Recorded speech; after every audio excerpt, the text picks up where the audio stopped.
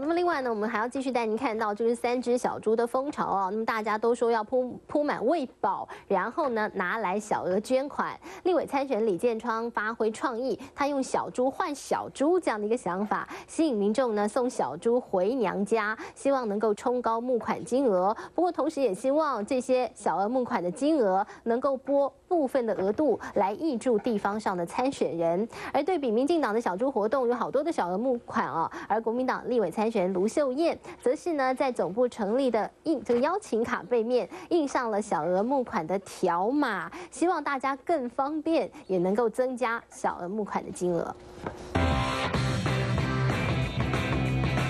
咦，这款小猪好像没见过，白白胖胖的小猪铺满，超级卡哇伊。只是白小猪到底在哪里？谢谢，我们现在有一只猪换一只猪的活动，这是送给您的。这个哦，送给我的，对，陶瓷的，对，好可爱啊！谢谢你，谢谢你啊！原来民进党小猪召集令十二月十号就有第一波全国小猪回娘家，养肥的小猪就是小额募款。民进党立委参选了李建昌，冲人气，以猪换猪。啊，陆陆续续收回来这个小猪哈，我的竞选总部的团队就设计了一个陶瓷的这个这个小猪，他们希望说，如果能够拿到内湖南港的这个小英跟建昌的这个竞选总部来的话，你回收一只的这个铺满小猪，我们就附赠一个非常可爱的陶瓷小猪。对对对，好，把它磨磨上去，对。